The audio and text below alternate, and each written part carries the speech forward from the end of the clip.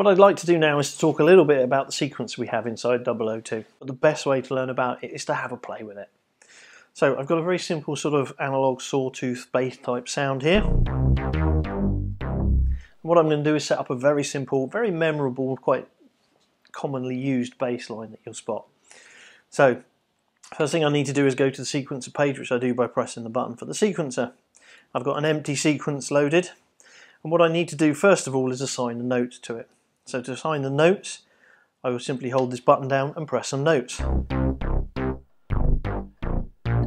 There we go, so I've now played eight notes into the sequencer. And when I press play, you can hear them playing. What I'll do now is I need to change the time of the sequencer to make the steps a little bit quicker. Now, You've got a shortcut here, you can change each knob one at a time and change the step values, but if you want to change them all at the same time, you can hold the button down and turn the knob and they will all change. There we go. So there we go. I now have eighth step across all the steps on the sequencer. And I press play now. So you can hear it's playing. There are several other sort of management or control rows. Above the, the step length row you have the velocity row. This is the velocity for each step and the gate length for each row. 25% is a bit short so again, what I can do is I can hold this button down, turn it up, and I'll go for 75%. There you go. And again, I can change the velocity, so I can have the first one nice and bright, and then turn the others down a little bit. The next one bright, and we can have sort of velocity changing as we go along. Now, the next thing, one of the things I would like to do for this one is to give it a bit of life.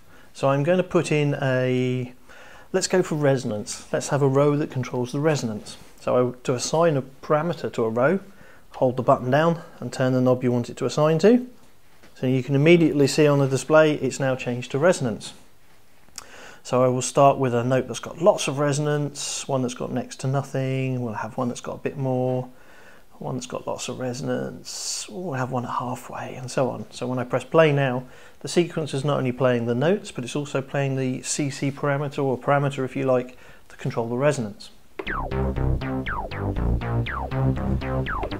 So you can do that. This is quite a good little feature.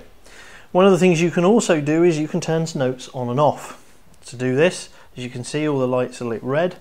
To turn a note off, just simply press the buttons of the notes you don't want and they go out.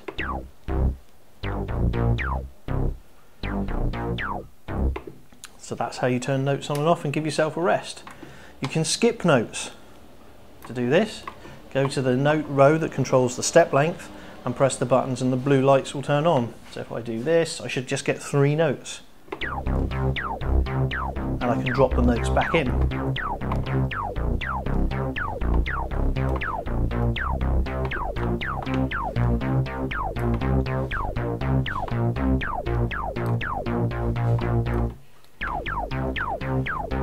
So you can have hours of endless fun with the sequencer. It's important to note that of these rows, there are 12 rows in total that you can assign anything you want to. So in this case here I have a row assigned to note and a row assigned to resonance. I can have a row assigned to another note if I want. Um, so let's do that. Again, just hold the note down and we'll go. There we go. So now I have two notes playing. I've got some notes skipped, so I'll turn them back on. So you can have hours of fun with this skipping, adding rows, adding rotes, adding parameters, and a parameter row can be pretty much everything on the whole front panel. So one of the other features that we can do with the sequencer is you have the ability to send some rows to the internal synth engine, the external synth engine, or to both at the same time. To do that, you scroll around to where it says here, and you've got a selection of both. So at the moment, those notes are sent to both the internal engine and external MIDI. I can press select, and I can select external, internal, or both. So you have the option there, so you could have a sequence where some things are controlling the internal, and some things are controlling your external MIDI equipment. The other thing that's useful to know about the sequencer is there are some different modes. So in this case, I have it running in forward mode, which you can see here from the setup page. If I press the mode button, I can change it to backwards. I'll play backwards. And much like the arpeggiator, we've got the pendulum modes the shuffle modes, the random mode, and all the other bits and pieces. So there's plenty of modes to choose from. You can also change the number of uh, steps there are. And you have up to 32 steps if you wish. So if I set it to 32, to get to the next eight steps on these uh, knobs, I can press this and it jumps forward to the page. So you can see at the top here it shows 9 to 16. So now I have steps 9 to 16 on my sequencer. Press it again, and I go 17 to 24, and again 25 to 32. So you have a lot of access and quick control to all the parameters and things you might want to use during your step sequencing. So also in the setup mode, we have the uh, swing control. So I've gone back to my eight step pattern and I can adjust the swing.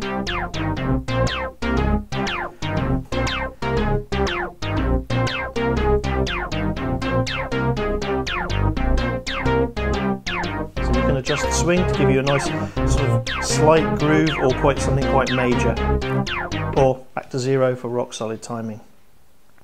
We also have the ability to do a legato mode. So what I'm going to do first of all is I'm going to turn off those extra rows that I have added. If I turn to that row and I'll set that to zero so that row is now gone. So here I have my simple sequence. And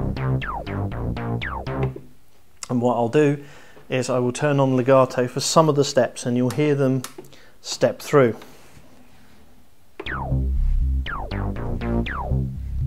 So you can hear there the notes sustained and not re-triggered. Particularly useful for bass lines if you want to accentuate some notes or not other notes. So again, we can do that. We'll have the first couple of notes accentuated. Uh, we'll do that. There we go. So now I've got two notes at the first part of each set of four that are legato. So you can build up some very rhythmical patterns with that. One of the other things that's worth mentioning is that each step has its own length. So if I want, I can have a couple of very short notes at the start. So I'll have a couple of sixteenths and I'll have one that's slightly longer there. So let's go for that. We'll turn those legato notes. So again, more control over the rhythm and the feel of your own sequence. So let's give a quick example of how to use the uh, velocity in this sound in a sequence to quite good the effectiveness. So I'll load a, a sequence Again here I've got an empty sequence which is just quite boring. I will change the note lengths to, uh, let's have a nice fast one.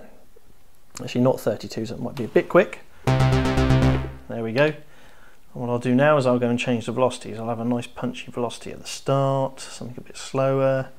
I'll have a very low one there, about halfway there. And you can change the values whilst it's running, so I'll do that from here on in.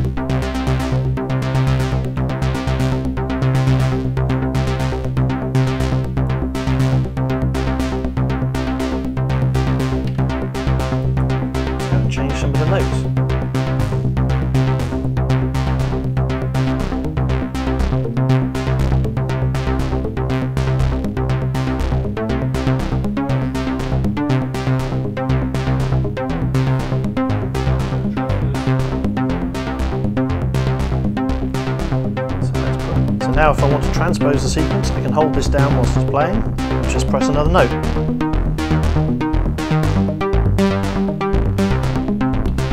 So it's that simple to build up. Now suppose I want to change a note in the sequence, I can hold that down and just press this. Press another note. So you can insert notes as and when you see fit.